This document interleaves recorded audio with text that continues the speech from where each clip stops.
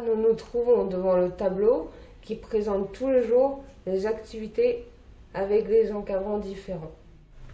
On peut voir donc sur ce tableau les encadrants du CAJ, ensuite la liste des activités proposées, qui seront donc proposées le matin et l'après-midi, et ensuite voilà les, les usagers et les heures de transport. Il nous permet déjà de savoir la date et de savoir les activités que l'on fera ce jour-là.